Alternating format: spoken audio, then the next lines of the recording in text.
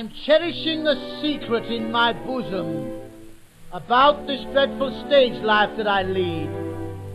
I've heard it said that pros are decent people, but according to the papers that I read, both actresses and actors are dead wrong uns, whether from the palace or the hippodrome. The chaps I meet outside know I'm an actor, but I never breathe a word of it at home. So my mother doesn't know I'm on the stage. It would break a poor old heart if she found out. She knows I'm a deserter from the Scottish Fusiliers. She knows I stole a blind man's can. That got me seven years. She knows I've been connected with a gang of West End pests, and the police have had me twice inside the cage. And she knows I mix with ladies that have got a shady past, but me mother doesn't know I'm on the stage. Sometimes she sees the powder on me clothing, and then it's such a nuisance to explain. If she thought it was powder, she'd go crazy. Of course, I have to tell her it's cocaine. The day she met me out with Gladys Cooper, she started screaming murder and police, and would have caused a dreadful scene in public. So I told her that the girl was Crippen's niece, 'cause my mother doesn't know I'm on the stage.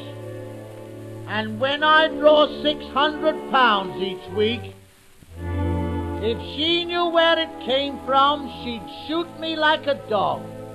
So I said I stole the money box from an Irish synagogue. She can think that I'm a murderer before she'll know the truth. I have to have respect for her old age.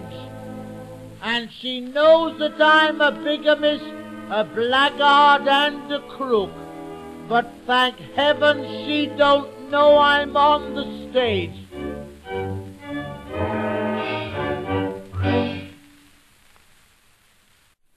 Recitation. I'm a lover of nightlife in London. When I start, I can go pretty fast. I've blotted me copybook, I must admit, when I think of my future that's past. I've been a bad lad to me parents. I'm a rip, and I just live for crime.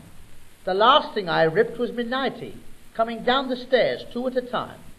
I've lurked round some dens in my travels, and was told I would come to no good. When I told them that day at the workhouse what to do with their old Christmas pud. My curse has been ladies and lime juice. In the West they call me the big noise. The fat of the land's what I live on, grease dripping and pork saveloys. Scotland Yard's got a photograph of me in me gaiters and dolly dyed vest. But I'll tell of the raid I was in once at the Catgut Club somewhere up west. I started the night with a gamble. Fourpence is nothing to me. With a couple of chinks I stood tossing for drinks, roast peanuts and saucers of tea. That night I shall never forget, sir. The band playing Home Sweet Home. I sat sucking a lemon and shouting good health to the old cock who played the trombone. I lounged with a girl in the palm court. She'd a low-necked chest at the back. Her blouse, it was cut to and from and all but, with the tips of her fingers in black. She'd come from a very big family. Who knows, perhaps a publican's daughter. On Drage's settee she got rather too free with the champagne I'd very near bought her. Later on we danced round, and I noticed she took size 11s in shoes. I said to myself, she's a copper, when she asked me if I knew the blues.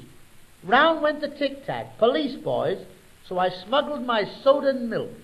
I grabbed a seashell from the fire grate and disguised myself there as a wilk.